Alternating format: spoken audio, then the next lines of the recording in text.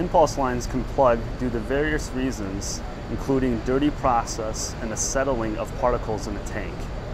Now when this happens, the transmitter is unable to respond to the process changes, and this results in an inaccurate level measurement.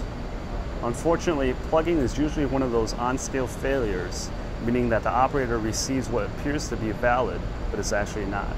There are several significant risks resulting from impulse lines. One of them is a process fluid may overflow out of the tank. And this can result in loss of feedstock, finished product, cleanup costs, health, and even safety risks. These incidents require regulatory reporting and oversight. The process fluid can also be lower than indicated due to plug lines. And this can result in lost production due to material shortages.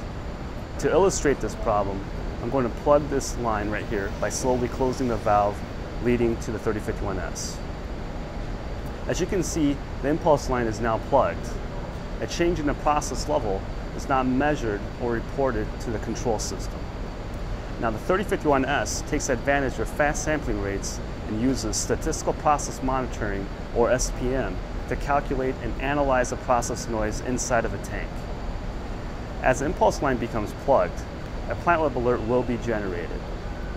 Here, in addition to measuring pressure, we can see that 3051S is actually measuring the process noise that's calculated by the standard deviation. When the impulse line becomes plugged, the standard deviation decreased below the configured threshold, and the 3051S triggered the alert to notify the operator. Now in traditional practice, without these advanced diagnostics, operators would not have known the level measurement was an error. And using the SPM capability of the 3051S, you can reduce the risk of lost production, spills, and safety risks. For more information on the Rosemount 3051S with advanced diagnostics, feel free to contact your local Emerson representative or visit the following website.